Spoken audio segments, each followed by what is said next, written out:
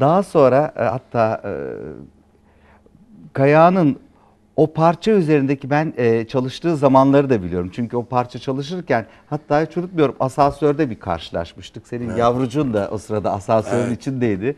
Hiç unutmuyorum Kaya'nın o sıradaki o parçanın e, hissedişini, o o gözlerinin içindeki o pırıltıyı ve o parçanın hakikaten e, iyi olması için elinden gelen bütün o özveriyi ve o güzelliği, bütün her şeyle ben onda o sırada Kayhan'da e, o gün onu gördüm. Ve o günden itibaren hakikaten benim Kayhan'a karşı olan e, sevgi grafiğim gittikçe yükselmiştir. Şimdi Bunu da sana ilk kez Ha, söylüyorum. tamam. Neden böyle? Çok, çok teşekkür ederim. Şimdi daha önce İstanbul hatırasını yazdım. Offside dediler. Ondan sonra Bekle Gülüm çıktı ortaya. Ya işte direkten döndü dediler. E, kar taneleri çıktı. E, faul var dediler. Çok şey oldu. Yani bir türlü golümü saymadılar benim. En sonunda gecelerde e, ben 5000 dolar e, bir faizden para almak zorunda kalmıştım. Birinci olmazsam da zaten durumum hiç iyi değildi.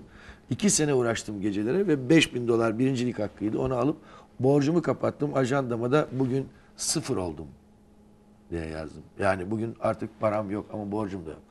Gecelerin bendeki çok önemli anısı tabii Nilüfer'in burada yorumu da çok önemli. Erşan benim kan kardeşim. Ama önce düşman gibi başlayan bir arkadaşlık bu. Çok enteresan. Ee, siz de çok deneyimli bir televizyoncusunuz. Ee,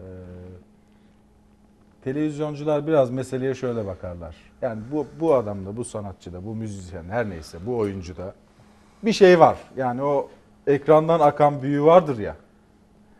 Onu ilk sezenler herhalde sizin gibi yönetmenler olsa gerek. O açıdan nasıl tarif edersiniz Kaya'nı? Şimdi tabii yani ben şimdi 68 programcısıyım. Ya 1313. Ee, benim ilk çalıştığım solistler e, rahmetli Aşık Veysel ve Nur, Nurettin Selçuk'tu. Evet. Ee, bana e, İzzet de sonra bir şey anlatacağım. Ee, o tarihte halk müziğiyle Türk sanat müziğini çok sevdirdiler. Ve ben programlarımda hep halk müziğiyle Türk sanat müziğine ağırlık veriyordum. Batı müziğini şahsen hiç sevmiyordum. Yıllar geçti ve ben Kayan'ı tanıdım. Kayan'la tanışmamız, o çok enteresan tanışmamız. Kayan'ı tanıdıktan sonra ben Batı müziğini sever oldum. Yani e, Kaya'nın apayrı bir yeri vardır. Çünkü araştırmacı, benim bizden size olsun filan. Hep biz araştırırdık. İyi solist, iyi parça, iyi yorumcu yakalamak zorundaydık. Hep araştırırdık. O tatsız karşılaşmayı anlatın. Ha, Ben e, ben ben anlatacağım onu sana bırakamam. Şimdi çok mütevazı bir kere böyle değil. Ee, Erşan e, her hafta 3 ya da 4 program üretiyor. TRT'den aldığı maaş yetmiyor üstüne borç alıyor ve e, çünkü solistlerin bir çayını bile içmek istemiyor laf olur diye. Bu kadar gerçekten e, dünyada az bulunur dürüst insanlardan birisi. Fakat ben Erşan'ı sevmiyorum, Erşan beni sevmiyor. Bir nedeni var çünkü ben gece kulüplerinde şarkı söylüyorum. O geliyor, konuşuyor, bir şey anlatıyor. Ben kesiyorum şarkıyı. O gidiyor diyor ki o bana şey yap diyor işte gece kulübünün sahibine at onu işten diyor. Ben diyorum o gelirse şarkı söylemem diyorum falan. Ama Erşan Ya ciddi bir tabii şey çok var. ciddi yani. birbirimizi hiç sevmiyoruz. Fakat işte bak şimdi nereden nereye İstanbul hatırasını yazdım. Ben televizyon için yazmıştım o şarkıyı da. Ee, geldi bana dedi ki ben seni hiç sevmiyorum ama dedi şarkın güzel. Gel bizim programa gir dedi. Ben de dedim ki ben de seni hiç sevmiyorum ama programın güzel. Şimdi bu gördüğünüz şey bu gördüğünüz şey keşke yapılabilse dediğimiz şeydir. Yani özelin dışına çıkıp işini ön plana çıkarıp seçimini böyle yapmak. Şimdilerde hiç böyle bir şey yok. Herkes birbirini ağırlıyor. Biz birbirimizi hiç sevmeyen iki kişi olarak tanıştık. Ama sonra birbirimizle kan kardeşi olduk. Ve Erşan'ın benim Türkiye'deki isim olmamda çok çok çok anlatamayacağım kadar önemli bir payı vardır. Çünkü e, İzzet mesela Masar Fuat Özkan ve Batı tarzı çalışıyordu. Benim onunla daha az çalışmalarım oldu ama sonradan da bu son zamanlarda onunla daha fazla var. Evet hakikaten. Ee, öyle. fakat Erşan'ın gerçekten ben değil Türkiye'deki pek çok kişi hakkını ödeyemez. Ee, Erşan Türkiye'ye çok kişiyi e, kazandırmış ve Doğrudur. sevdirmiş insandır. Hatta buradan söyleyeyim İbrahim Tatlıses'le biz İlhan Feyman kulüpte oturuyorduk. İlhan abi geldi. İlhan, e, İbrahim Tatlıses çıktı ki ben onu Kayseri'de bir pavyondan tanıyordum. Ben de o zaman orada bir şeyler yapıyordum. E, nasıl falan derken biz o gece konuştuk. Sonra Erşan ertesi gün onun çekimini yaptı ayağında kundurayla. Yanlış mı? Ve İbrahim böylece Ee, tabii ki hiçbir şey olmasa sadece çıkarmakla değil ama demin söylediğiniz çok önemli. Yani onu seçebilmek, o sezgi, onu görebilmek meselesi. Tabii ama e, şey var e, hakikaten ara, demin söylediğim gibi ya inandığımız bir şey ya mutlaka o insanlar gelecekti tek kanal dönemi ya çıkan şey oluyor ama hakikaten inandı şimdi e, inandığımız şeyler hepsi güzelmiş. Saygı duyuyorum İbrahim Tatlıses'i bir efsane bir ses. Kaya'nın Kaya'nın her bestesinde gözyaşım vardır. Evet doğru. Her bestesinde gözyaşım vardır. Şu Eurovision meselesi yarım kaldı. Ona bir girelim. Sohbetimize oradan devam edeceğiz. Çok güzel Eurovision, şarkılar. evet. Eurovision sayfası. Bu 1900 yıl İngilizce katılıyormuş Şimdi bakın herhalde. 1900 anlatayım onu size. Çünkü bu Akdeniz Akdeniz'e güzel özleşecek şimdi. Şimdi yine bize ait olmayan bir kulvarda koşacağız. Allah yardımcımız olsun. Yani bize ait değil o kulvar bana göre. Anglo-Sakson ülkelerinin melodilerinin yarıştığı bir yer. Ee, ben 1989'da katıldığım halk jürisi vardı. Melankoli ve Melankoli ile ikinci olmuştum. Timur abi birinciydi. O gitti. İkinci sene e, Erzurum mesela tabii ki Kayahan falan öyle yani halk fazla seviyor. Biz de ona layık olmaya çalışıyoruz. Çok büyük sorumluluk bu. Tabii ki Kayahan Kayahan. Ben bütün puanlarla e, kazandım ve e, şöyle demiştim. Lütfen müzisyen arkadaşlarıma sesleniyorum. Gelsinler birlikte analizler yapalım. Bir sentez bulalım ve çünkü çok zor. Neden zor? Bir, dilinizi kimse bilmiyor. Bu ne demek?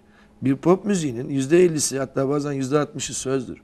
Söz olmazsa bir şey anlamazsınız. Daha doğrusu söz halktan insanların, müzikle direkt uğraşmayan insanların müziğe yükledikleri anlamdır. Sıradan dinleyicinin Evet, yani. evet yani tabii o, o müzik ne anlatıyorsa işte o söz demektir o. Sö- e, müziğin kendini tercümesi diye söylüyor. Bu yok bundan yoksunsunuz. İkincisi siz kendi memleketinizde tutmamış şarkıyla ya oraya gidip birinci bile olsanız bu şarkı burada tutmamışsa size ait bir şarkı değildir bu.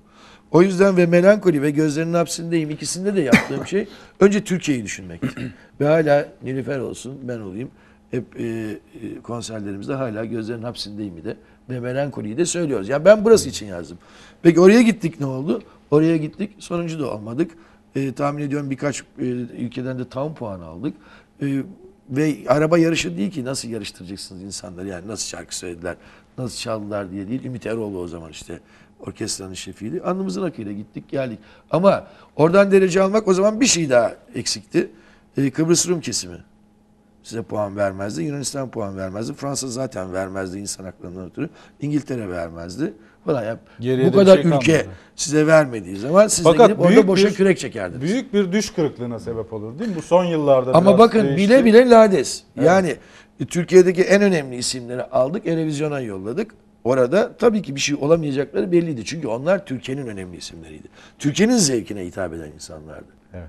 Yani Ajda Pekkan en iyi zamanında oraya gittiği zaman insanlar Ajda Pekkan'ın o söylediğini anlamadılar. Ama Türkiye'de Petrol şarkısı insanlar herkes tarafından sevdi değil mi? Evet. Bilmiyorum. Benim Eurovision'la ilgili benim açımdan çok önemli bir yeri var. Ee, 1974 yılında daha Eurovision şarkı yarışması Türkiye'de başlamamıştı. Beni TRT'den yolladılar. Ee, sanıyorum iki arkadaşımız daha vardı. Meral Hanım'la e, Namık da gelmişti galiba. Biz gittik. Ondan sonra ve e, hiç unutmuyorum benim açımdan en, en önemli yanı e, Abba Waterloo'yla birinci olduğu yıldı. Ve e, Abba sahnedeyken o sırada ben onları izliyordum. Ve bir anda ve ben o zamanlar daha Ankara Radyosu'ndayım. Televizyona geçmemiştim. İzzet dedim. Sen eğer bir yapımcıysan o zaman sana düşen bir görev var ve onu halledeceksin. Onu yapmak zor. Yani benim Eurovision şarkı yarışmasının en önemli tarafı benim açımdan odur. Ve e, ben o günden itibaren kesinlikle şuna yani o gün karar verdim. E, e, Türkiye'ye döndüğüm vakit televizyona geçmek için elinden gelen gayreti göstereceksin ve yapacağın programda sadece yaratıcılara yer verirken o günden itibaren hangi programı nasıl yaparsan yap sadece ve sadece bestecilerimizin yapıtlarına yer vereceksin. Ve bu şekilde Türkiye'de e, belirli bir biçimde eğer e, o benim programlarımda yer alacak olan Türk popüler müziğiyle ilgilenip benim programda yer alacaksa bestelere yönelik çalışmalar yapmak zorunda olacaktı sanatçı. Ve onu o günden bugüne kadar uyguladım. Benim için Eurovision'un en önemli tarafı o. 75'te de şeyle gittik. Tabii e, bu sefer yine e, halen ilk başladığı vakit Ankara Radyosu'ndaydım. Yine gittik Bülent Özveren ben falan hep birlikte. Zamanımız varsa o günle alakalı çok küçük bir Tabii anlatabilir miyim? Yani ucu çok açık. bu. enteresan oldu da çok şimdi aklıma geldi. Şimdi biz o gün ilk gün e, İsveç'e indik. Ondan sonra tam e, herkese de birer kart takacaklar. Hani herkese kart veriyorlar ya işte boynunda takıyorsun falan filan. Oradan tam kapıdan kadın verirken dedi bu dedi sizin için dedi e, öz çok önemli bir şey herhalde Türkiye'de dedi. Nedendir? E, Bu ne kadar önemli bir şey dedi. Biz de şaşırdık. Ne oldu falan. E baksanıza dedi. İzzet Öz, Bülent Özveren, Erkan Özerman diye. Hiç unutamıyorum o günü. Çok komik de bir olay olmuştu benim açımdan. Ee, Erşan Bey yarım kaldı. Tepkileri de ölçüyordunuz tabii. Yani e, kayağına yer veriyordunuz programlarda ama ilk elden de size seviniyorum. galiba. Ya tabii, tabii. bir de şey vardı yani tabii bir sürü dedikodu yapıldı o adama ama biz eski e, prodüktörler hakikaten araştırmacıydık. O zaman çok az solist vardı. Ee, ve ekrana tek kanal olduğu için denetim vardı. Hala ona saygı duyuyoruz. Çok zordu ekrana çıkmak ve o zamanlar biz karar veriyorduk. Yani üç yönetmen, dört yönetmendik. Ee, ama inandığımız bir şeye üzerine gidiyorduk. Ben hakikaten işte e, seyirci, ben kişiliğiyle, şahsi besteci, besteciliğini çok seviyorum.